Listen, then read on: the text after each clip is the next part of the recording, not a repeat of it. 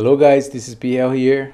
Just recording this video to give you a quick tip on how to manage your objects here. Sometimes your scene can get busy with a lot of objects and you start to get confused by all these elements here. And even if you group everything, sometimes gets busy. And uh, I found a, you know, a easy way to manage everything it's really handy and I hope you guys find it useful too for your projects. So I have this scene here which I'm gonna be uh, launching soon. I have this car animated and I don't need to do anything anymore here. I just need to um, lock it or hide it from this window here so I can keep going with, with the rest of the scene and the way I do this I just I just select the car. I can select the plugin here too which is the plugin the plugin I use to rig the car. I just click shift select everything. And I have to go actually I just select these null objects here which is the you know the main of the hierarchy. But it's not selecting all these children from this group here. And the way I do that I go here and edit select children.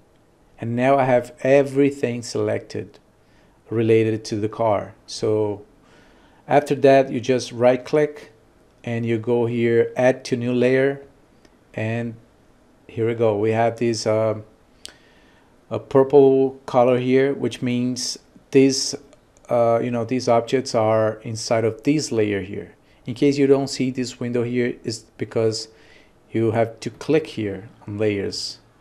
You will be probably working on the attributes and then you go here layer and you will see the layer the layer you created for the car. And you can rename it car. And you have some great options here. You can just solo the objects on the viewport. You can hide it from the viewport oh I forgot to put the motorist because it's not inside of the group. But uh, it's here. Uh, you can just drag and drop inside of the layer and it's gonna you know work uh, in the same way as the car. So then you can hide from the viewport. You can disable in the render. You can hide it from the this window. In case you're done with it you just want to hide into reduce the amount of elements here so you can keep a little bit more organized and you know what you're doing. And also you can lock everything. Once you lock you don't have access to any object in the hierarchy.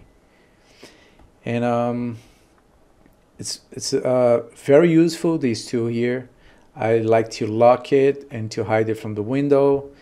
And sometimes I just hide it from the viewport and I keep going this way and sometimes you know if you have to go back and do something you just unlock make it appear here and keep working.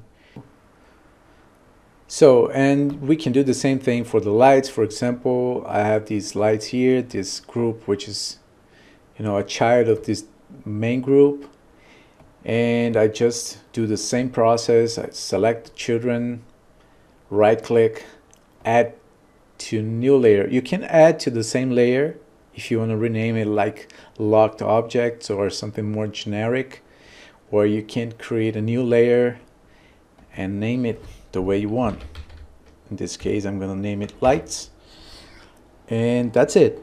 You can see the color and I can do the same process here, which is hide it, hide it from this uh, window, lock it, and hide it from the viewports. The lights I like to hide from viewports because it's not an object and sometimes uh, the viewport gets you know really busy with all the information of the lights. Let's see here and all these boxes kind of bore me uh, sometimes and I just like to hide them so I can just focus on the you know the geometry in the creative part.